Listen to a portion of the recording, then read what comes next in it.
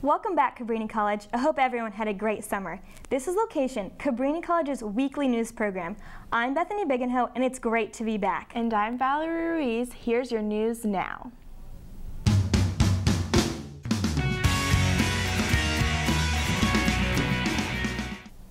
Last week, first year students moved into their residence halls. Let's hear from Jimmy to learn more.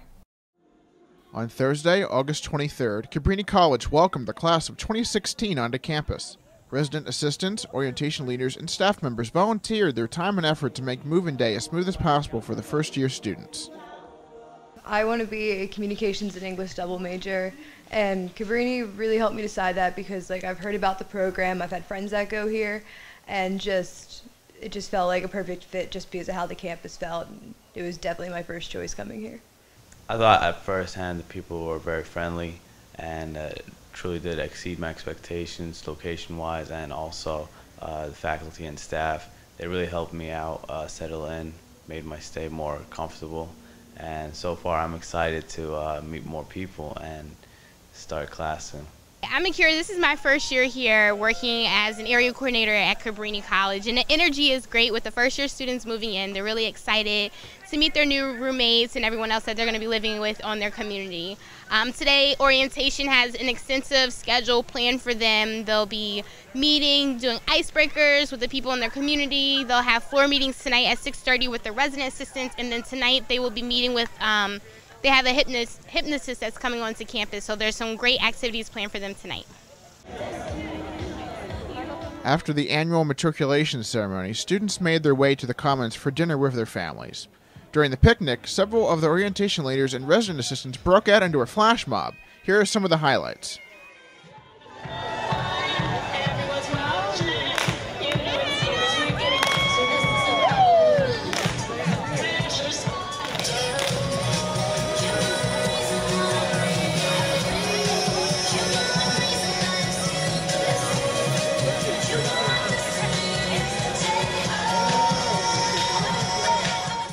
For exclusive video of the entire flash mob as it unfolded, head to our YouTube channel and search Flash Mob. For LOQation, I'm James Kroll. Jumpstart your school season by going into Philly this Labor Day weekend for the Made in America Music Festival headlined by Jay Z and Pearl Jam. Construction workers have been hard at work putting together a four stage performance area. If you're going to the concert, make sure to send LOQation your photos. We're putting together a slideshow of everyone's concert photos. Send your best photo with the creative caption to locationpr at gmail.com. On Lancaster Avenue this weekend, Painting with a Twist is offering a fun filled night out on the town. The special offer is only $35 for two hours and $45 for three hours. Don't forget, it's a place to hang out with your friends, bring your own wine, and create some art. Looking for a great three course meal for 20 bucks? Better make your reservations now for Mainline Restaurant Week during the, first, the last week of September. Some of the best restaurants in the area offer discount dining, great for college students. Check out the list of places on mainlinerestaurantweek.com. If you're really gorged yourself at a restaurant week and need to get a perspective on healthy eating, here's some advice from the General Manager of Dining Services, Drew Niemann. We decided uh, to bring a dietitian to campus uh, due to the fact that uh, over the more recent years, we've seen a lot more students and faculty and staff members on our campus uh, having dietary concerns, whether it be allergies or just uh, paying closer attention to uh, their food intake. That we thought it would be a good idea to bring one of the dietitians that we have available to us within Sodexo. Her name is Sue Hurd, and in previous years, many, many previous years, she's been working uh, primarily in the Lehigh Valley area with, with college campuses up there. And, and uh, really we had the opportunity to, to get her to come on board with us here in the Philadelphia region um, with our schools down here. And not only myself, but my counterparts at the other schools in the area all thought it was a great idea. You know, it was something that's really very much needed uh, these days. So uh, she's going to be joining us officially on September 21st uh, here, and she'll be available to us in the, in the Cavs corner. She'll be setting up a little table, kind of a meet and greet session, and setting up appointments with students who feel the need that they want to see her. I think having a dietitian on campus is a great idea for um, especially the athletes. Everyone's trying to stay fit for the season, especially preseason and the season, and also for the freshmen because everyone knows the freshman 15. Me personally, I'm very unhealthy, and I think me seeing her is a very good idea. I think it's a great thing that um, she's on campus now. I think um, everybody should use her because I know if when I whenever I meet her, I know I'm going to use her. If there's any time during the course of the year where a student or faculty or staff member feels a need that they would like to take advantage of uh, speaking with Sue um, about any of their dietary concerns, uh, the best way to go about doing that would be to contact me directly. Depending on what it is, it could just be a phone call where they speak with Sue on the phone or interact via, uh, via email. Um, but if they would like the one-on-one meetings, I kind of know what the schedule is going to be in the upcoming times where she is on campus. Um, and all of these services are available free of charge. That was your trip around the block. Now here's Rob with your latest Eagles, Phillies, and Cavalier updates. All Cavalier athletic teams will begin their first season under new athletic director Brad Koch, who joins the Cabrini family after 15 years with Philadelphia University. Cavalier athletics have not begun just yet as teams are just starting to wrap up their preseasons. Regular season play is expected to begin this weekend and next week.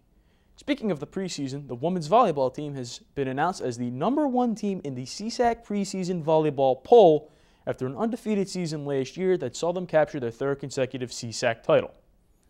In Philadelphia sports, the Phillies currently sit 16 and a half games back in the NL East and 10 games back in the wild card hunt following a 9-5 loss in 10 innings to the New York Mets on Tuesday night. The Phillies will conclude their series against the Mets on Thursday, then will travel to, for a six-game road trip against Atlanta and Cincinnati. The Eagles will conclude preseason play on Thursday night when the New York Jets pay a visit to Lincoln Financial Field. The Eagles are currently riding on a 3-0 preseason record thanks in part to the stellar quarterbacking of 2012 draft pick Nick Foles. The Eagles also trimmed their roster down to 75 players on Monday after cutting wide receiver Jamel Hamler. Offensive guard Mike Gibson was placed on injured reserve with a hip injury. Both defensive tackle Mike Patterson and offensive tackle Jason Peters were placed on the non football illness and non football injury lists respectively, as Patterson continues to rehab from brain surgery and Peters continues rehab work on his torn Achilles tendon. The Eagles roster must be at the 53 player limit by 9 p.m. on Friday. In other Eagles news, former running back Brian Westbrook signed a one day contract to officially retire as an Eagle on Wednesday. Westbrook was beloved by Birds fans far and wide, and his number 36 jersey is still seen in the stands of Lincoln Financial Field to this day. That's all I got for this week in sports. Be sure to tune in next week for the results of the start of Cavalier Athletics, as well as an update on the Phillies' playoff hopes and the end of the Eagles' preseason. Now back to Valerie. Sadness strikes all over the nation as we say goodbye to American hero Neil Armstrong. Armstrong died at the age of 82 due to heart surgery complications. His journey took flight when he became the first man to walk on the moon and is still being honored for this achievement as he recently received the Congressional Gold Medal Award. Later this month, there will be a 50th anniversary reunion where the crew members of Apollo 11 will remember their following commander. Tragedy continues as 58-year-old Jeffrey Johnson shot his colleague, Stephen Ercolino, dead right outside the Empire State Building earlier this week. Johnson had recently lost his job as a former clothing designer.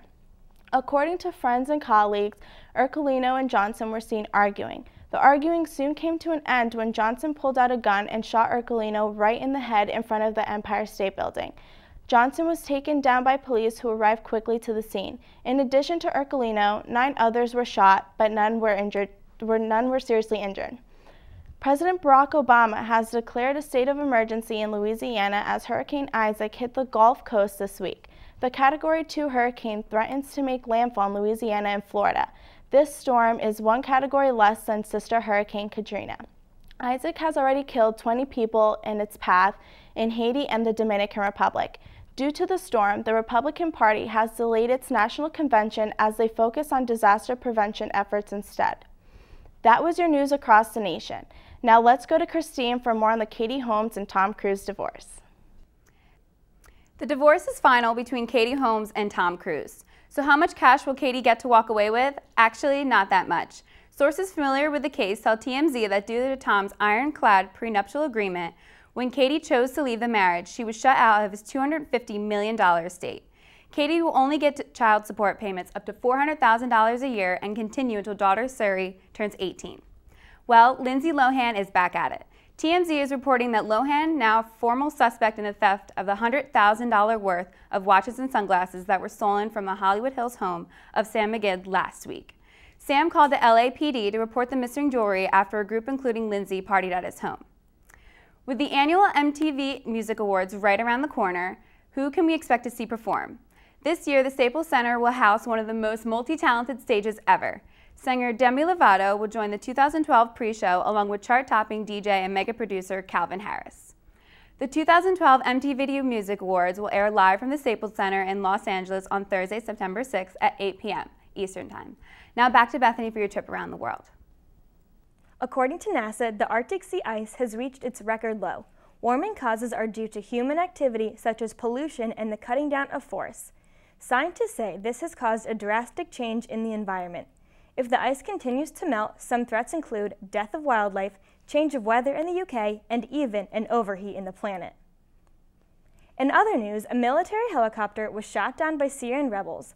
Video footage caught images of the burning helicopter and rebels up in arms. According to rebels, the attack was caused out of a retaliation on a government-forced massacre, which occurred earlier this year. Overall, 37 people were killed as the result of the helicopter attacks in Syria.